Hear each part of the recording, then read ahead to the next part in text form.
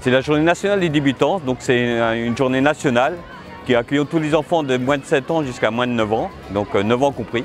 cette journée est sur 4 sites parce que ça fait 2000, 2000 enfants à peu près environ. Et donc la journée a lieu ici au club de Sarty-Giloville, à Condé, sur Vire, à Valogne et à Lessé.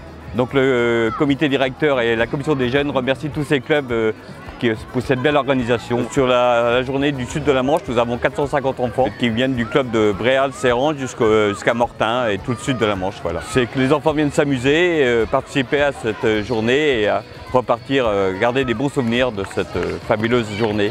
Bonne ambiance, faire, plaisir, faire plaisir, plaisir euh, avec un grand P et qu'on les retrouve au, mois de septembre, toujours sur les terrains de football. Cette journée, c'est euh, pour terminer euh, la saison footballistique de tous ces jeunes enfants, garçons et filles, avec, en prenant du plaisir, en retrouvant tous les clubs des alentours, puisque pendant la saison, on joue avec un groupe de 7-8 clubs et qu'on se retrouve tous les 15 jours les uns contre les autres en, faisant une tournante. Quoi. Et aujourd'hui, on rencontre des clubs, ça permet aux enfants de rencontrer des clubs qu'on n'a pas rencontrés dans la saison.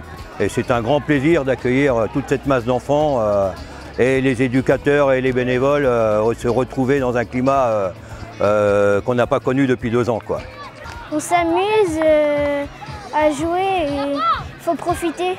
Merci pour cette journée, c'est top. Avec mon équipe, ça se passe bien et ça se passe très bien. Mon éducateur, il est beau, il est gentil, il nous apprend plein de choses. Merci pour la journée. C'est bien, c'est sympa, euh, on s'amuse tous. C'est une bonne ambiance et c'est une belle journée. On est une équipe que des filles et ça se passe bien. Mon éducateur, il est gentil, on apprend plein de choses avec lui. Merci aux bénévoles pour cette journée.